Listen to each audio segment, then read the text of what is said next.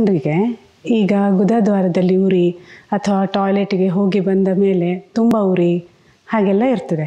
ಇದು ಮಲಬದ್ಧತೆದು ಲಕ್ಷಣ. ಮಲಬದ್ಧತೆ ಅಂದರೆ ಕಾನ್ಸ್ಟಿಪೇಷನ್ ಈಗಿನ ಲೈಫ್ ಸ್ಟೈಲಲ್ಲಿ ತುಂಬ ಜನ ನೀರೇ ಕುಡಿಯೋದಿಲ್ಲ ದಿನಕ್ಕೆ ಮೂರು ಲೀಟ್ರ್ ನೀರು ಕುಡಿಯೋದು ಇಂಡಿಕೇಶನ್ ಆ್ಯಕ್ಚುಲಿ ಬಟ್ ಯಾರು ಅಷ್ಟು ನೀರು ಕುಡಿಯೋದೇ ಇಲ್ಲ.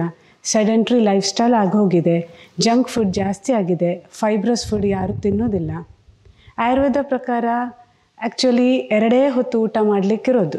ರಾತ್ರಿ ಹೊತ್ತು ಎಲ್ಲ ಆರೂವರೆ, ಏಳು ಏಳು ಗಂಟೆ ಒಳಗಡೆ ತಿನ್ನಿ, ಏನು ಬೇಕಿದ್ರು. ಜಾಸ್ತಿಯಾಗಿ ತರಕಾರಿ ಫೈಬ್ರಸ್ ಫುಡ್ ಸಲಾಡ್ಗಳು ಹಾಗೆ ತಿನ್ನೋದು ಅಂತ ಇರೋದು. ಆದರೆ ಈಗಿನ ಲೈಫ್ ಸ್ಟೈಲಲ್ಲಿ ಹೇಗಾಗಿದೆ ಅಂದರೆ ಮನೆಯಿಂದ ಹೊರಗಡೆ ಹೋದವರು ಬರೋದೇ ಸಂಜೆ ಆಗ್ತದೆ.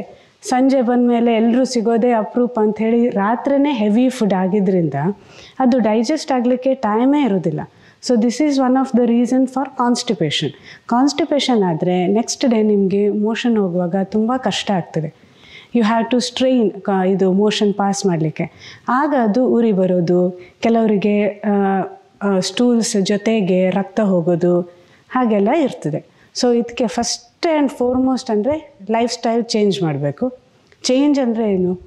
ನೀರು ಜಾಸ್ತಿ ಕುಡಿಬೇಕು, ಜಾಸ್ತಿ ಫೈಬ್ರಸ್ ಫುಡ್ ತಗೊಳ್ಬೇಕು ತುಂಬ junky, bakery items, pizza, bread, burger ಅದೆಲ್ಲ ತಿನ್ನಲಿಕ್ಕೆ ಹೋಗಬಾರ್ದು. ಇದಕ್ಕೆ ಈಗ ಪರಿಹಾರ ಅಂದರೆ ತುಂಬ ನೀರು ಕುಡಿಬೇಕು. ದಿನಕ್ಕೊಂದು ಎಂಟು ಲೋಟ ನೀರಾದರೂ ಕುಡಿಲೇಬೇಕು. This doesn't include any coffee tea ಮತ್ತು ಆದಷ್ಟು ಸಾಫ್ಟ್ ಡ್ರಿಂಕ್ಸ್ ಅದೆಲ್ಲ ಕುಡಿಲೇಬಾರ್ದು.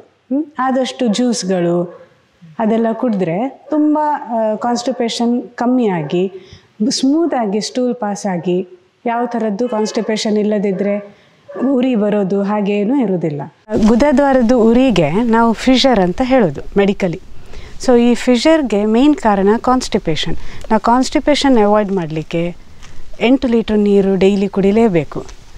ಮತ್ತು ತುಂಬ ಫೈಬ್ರಸ್ ಫುಡ್ ತಿನ್ನಬೇಕು ನೈಟಿಗೆ ಸಲಾಡ್ ಜಾಸ್ತಿ ತಿನ್ನಬೇಕು ಸೊ ಈ ರೀತಿ ನಾವು ಮಾಡ್ತಾಯಿದ್ರೆ ಮತ್ತು ಸೊ, ಈಗಿನ ಜನರೆಲ್ಲ ಸೆಡೆಂಟ್ರಿ ಲೈಫ್ ಸ್ಟೈಲ್ ಸೊ ಹಾಗಾಗಿ ಸ್ವಲ್ಪ ಆದರೂ ದಿನದಲ್ಲೊಂದು ಅರ್ಧ ಗಂಟೆ ಆದರೂ ವ್ಯಾಯಾಮ exercise any form of exercise ಮಾಡಿದರೆ ದೇಹಕ್ಕೂ ಒಂದು ಒಳ್ಳೆ ಇದು ಚಲನೆ ಸಿಕ್ಕಿ ಕಾನ್ಸ್ಟಿಪೇಷನ್ ಅವಾಯ್ಡ್ ಆಗಿ, ಮಲಬದ್ಧತೆ ಆಗದೇ ಇದ್ದು ಫಿಷರ್ ಎಲ್ಲ ಆಗೋದಿಲ್ಲ. ಈಗ ಫೈಬ್ರಸ್ ಫುಡ್ ಅಂದರೆ generally it is all vegetarian ಫುಡ್ಡೇ non veg is always constipating so fibrous ಫುಡ್ಡಲ್ಲಿ it includes radish and ತುಂಬ ಜನರಿಗೆ ಗೊತ್ತಿಲ್ಲ, ಈ ಬದನೆ ಇದೆ ಅಲ್ಲ ನಮ್ಮದು ಬದನೆ. It is vegetable which has highest fibre but ಎಲ್ರಿಗೂ ಅದು ಎಲರ್ಜಿ ಅಂತ ಕೆಲವರು ತಿನ್ನೋದೇ ಇಲ್ಲ. ಫೈಬ್ರಸ್ ಫುಡ್ಡಲ್ಲಿ ಬ್ರಿಂಜಾಲ್ ತಿನ್ನಬೇಕು ಕ್ಯಾಬೇಜ್ ತಿನ್ನಬೇಕು ಮತ್ತು radish and all types of leafy vegetables ಈಗ ಪಾಲಕ್, ಸೊಪ್ಪುಗಳು, ಮೆಂತ್ಯ ಸೊಪ್ಪು. ಅದಕ್ಕೆ ನೋಡಿ ಮುಂಚಿನ ಕಾಲದಿಂದನೂ ಎಷ್ಟು ಜನರು ಹಳೆಯ ನಮ್ಮ ಅಜ್ಜಿ ಕಾಲದಲ್ಲೆಲ್ಲ ಸೊಪ್ಪುಗಳೆಲ್ಲ ಎಷ್ಟು ತಿಂತಾಯಿದ್ರು ಈಗ ಆಗಲ್ಲ ಇನ್ಸ್ಟಂಟ್ ಎಲ್ಲ ಫುಡ್ ಸಿಕ್ಕಾಗ ಇದೆಲ್ಲ ಯಾರೂ ತಿನ್ನೋದಿಲ್ಲ. This is all the what is that basis for all the constipation ಇರಲಿ ಯಾವುದೇ ಥರದ್ದು ರೋಗಕ್ಕೆ ಕಾರಣ.